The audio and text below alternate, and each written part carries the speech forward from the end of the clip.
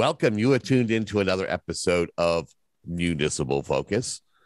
As you know, this particular show is used to provide information uh, and share details about things that are going on when it comes to your local government, whether it's town government, county government, or even state government. Joining us today is Hanson Town Administrator Lisa Green, and we're here to talk about a uh, a annual event, the annual special and town meeting. I think I said that right. Yeah. Where there's two two warrant articles. There's two warrants with a set of articles. Uh, and uh, so we're here to kind of talk about that. Lisa, how are you today? Good morning, Kevin. I'm doing well. Thank you so much for having me. It's a, it's a pleasure uh, to be talking with you about our town meeting today. Well, let's let's talk a little bit. What was what was preparation like? You know, it, it, usually starts earlier in the year, and there's mm-hmm. a series of meetings with department heads, and you know, putting putting the budget together and getting an idea as to what you're going to ask uh, for the fiscal year that starts July 1st. Yes. Well, it's uh, it's a team effort. Um, it involves all departments, all municipal departments with the town. Um, we begin the process by asking departments to put together a budget and submit it to the to our office, um, which we then share with town accountant, who is who's very instrumental in helping us put the budget together. Um, and then we also ask departments to forward their capital plans to us and um, the, which capital items that they're hoping to um, get funding for through town meeting um, to move forward with with either um, equipment or um, improvements to their buildings and things like that. Um, so that, that process starts back in November. Um, we also we begin collecting our um, from our different com- uh, committees and boards and commissions and departments uh, your year-end reports for our annual town report. So we begin collecting those and, and uh, compiling them for uh, the printers for our annual town report that we want to have ready for town meeting that we can give to residents. Um, and we start putting articles together. We again ask departments to submit their um, articles for the for the warrants, and um, we we begin to compile that. So it's a process that takes many many months. Um, and of course, over the over those months, there's many changes um, that occur. Um, you know, our budget as we went into the fiscal 23 budget preparation, um, we were, we're starting with a shortfall with a deficit of um, close to a million dollars. Um, the schools are always um, a budget that we watch very closely for. Um, they nor- the, the school will present an initial draft budget um, at, at, one of their the school committee, I should say, at one of their February meetings and then the town, the Whitman and Hanson can then uh, put their budgets together based on that preliminary budget um, presentation. If I could ask, you know, COVID has been very a very big part of our lives over the past couple of years. Mm-hmm. How has that added wrinkles or made the uh, process difficult, or maybe easier? Maybe there's you can project that maybe it, it COVID is not going to be, you know, the, you know, depending on the different strains, we're learning that the more that it mutates, that it may not be as it was initially when we were dealing with with it back in early 2020. Right. And and the medical science on it has come a long way with vaccinations and um, those new developments. But yeah, COVID presented a lot of challenges. So I mean, um, the last prior town meetings were had out, outside at the high school um, in the summertime. Um, I think we all remember those July 90 degree plus days with the humidity. Um, but interestingly, we had both, I believe Whitman and Hanson had uh, some of the highest attendance uh, when we held, held, those meetings outside. Um, people appeared to be very comfortable. They brought their chairs, blankets, umbrellas, coolers. So, um, you know, it was, it was a very different, different atmosphere, but it looked like people um, really took to the different in, in um, venue, so to speak. Uh, this year, town meeting seems to be um, back to normal. We're moving it back to the Hanson Middle School where they've had it in the past um, in the auditorium. Um, masks have not been a big conversation. Of course, people can choose to wear masks, um, but I, I don't believe there's going to be any mandates out there for masking. Um, but people are certainly able to choose what is best for, for, for them and their families. Um, but it, it, it, feels good to have things back to normal.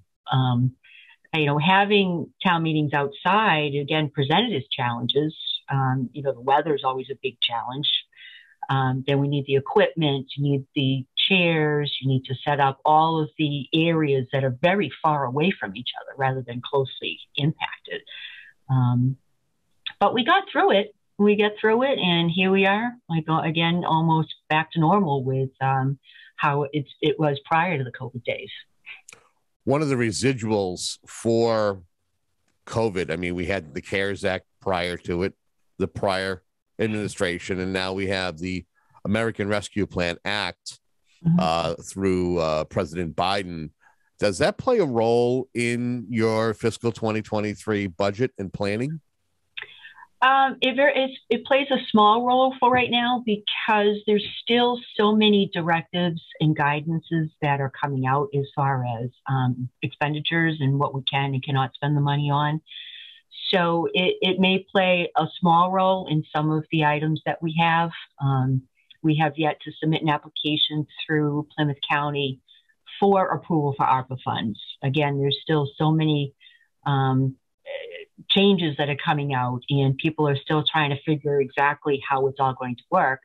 So it may have more of a impact in, in FY24 um, if, as far as larger projects. Okay. The uh, you talked a little bit about the funding challenges and, and having a deficit. Um, what was different? Was there anything different this year compared to the prior year as far as trying to fund the budget having the revenue to be able to provide town services? Yes, most definitely. Well, I mean, as every as people know, COVID has um, brought about some supply and demand type of um, challenges. Uh, supply shortages um, definitely impacted new growth uh, with new building and things like that. So we found our new growth was was very low, um, and that is a lot of what we base part of our budget on. Um, and that's what created the difficulties and the challenges with our budget shortfall. Um, you know, local revenues, things like that. And it, it, just impacted across the board with local receipts, um, car sales, um, you know, um, retail sales, and again, new growth, new building, um, was all impacted negatively. Um, and that's part of what the American Rescue um, Plan Act has is um, uh, providing some type of, of, funding for towns for negative economic uh, impacts of COVID. And that will be a focus of, of where we can use that money for economic development um, in that area for the town. You touched upon it briefly uh, in our first uh, question, and that is uh, about the uh, um, the annual assessment that is received by each community in the school district, shared with Whitman. Um, what was the assessment process like this year? Uh, well, the school committee um, they review the budget that the that is presented to them, um, and they vote on the the budget and then the assessment for the two towns. Um, the official assessment was sent to us March 16th.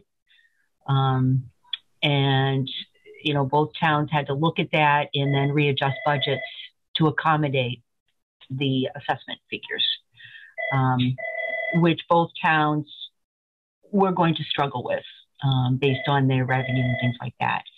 Um, and then we were fortunate that there were there were conversations um, on non-mandated busing in a, in a uh, new formula for that type of that particular part, part of the assessment, um, which did save the town some money, um, both towns money.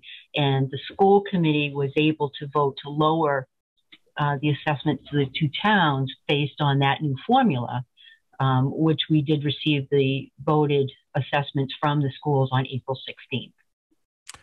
Now, my understanding was is that there was a little bit of a Whitman Hanson Selectman budget partnership, like a mm-hmm. meeting. How did that go? Well, um, you know, it, it was. Um, hmm, geez, that's a tough question. I think there there there were, um, you know, it was understanding that there's a, a there's definitely a um, observation that communication could definitely be improved mm. between the school committee and the two towns. Um, it, it, just seemed that there was a breakdown in communication um, and, and in the process in general. Um, you know, we have a, there, there's a new chairman to the school committee after um, Bob Hayes retired after many years of, of serving as chairman. Um, and with new leadership comes in new, always new ideas and new thoughts of how the process can be improved. Um, you know, hopefully that that meeting will help us next as we prepare for the next budget season on, on how communication and how working together can, can really help us make the budget process easier.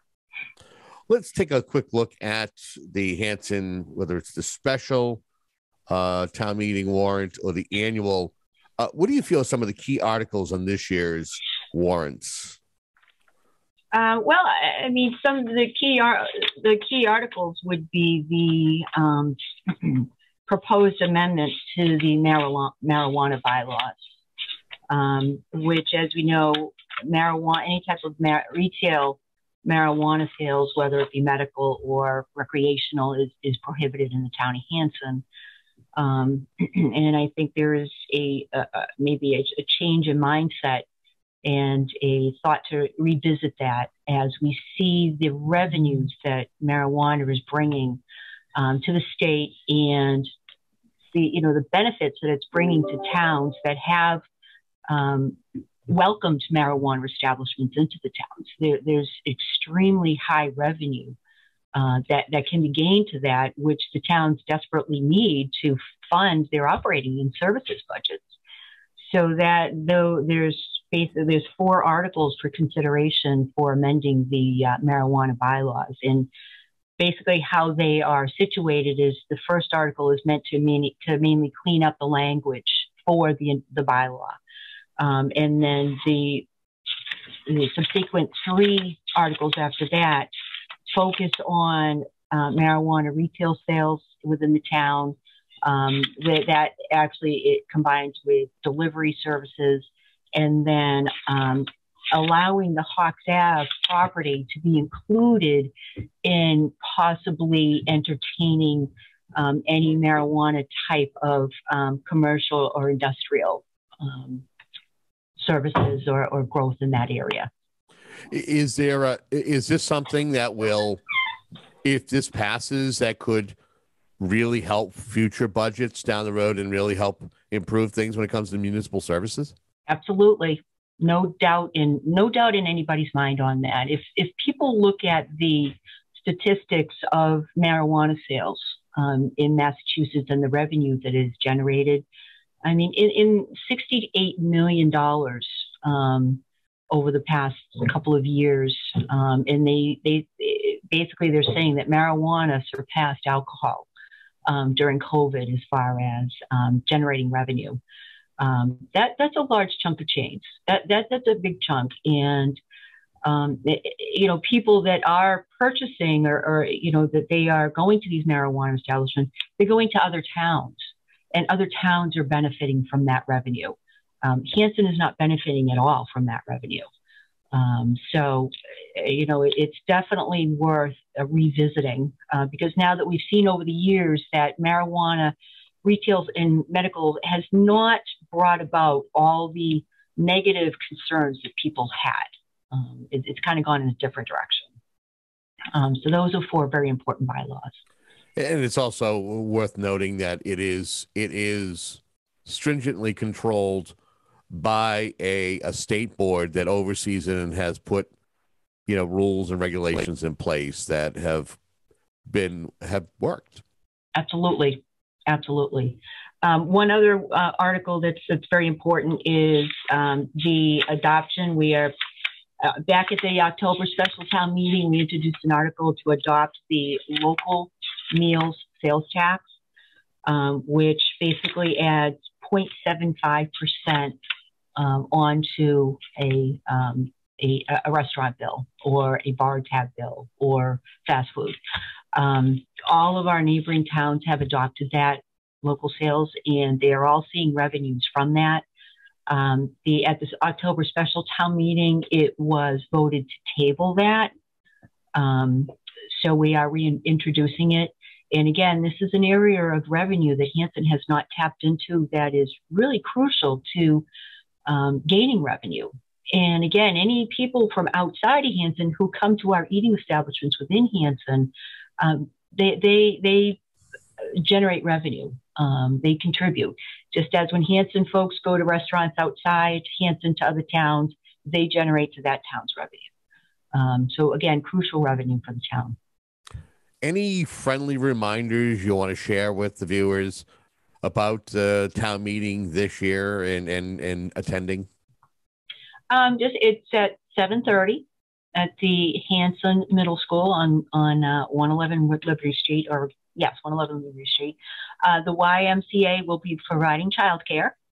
Um, that is at no cost, and um, we will have everything ready for people. Um, and just you know, please come on out. This is how the towns um, operate our business.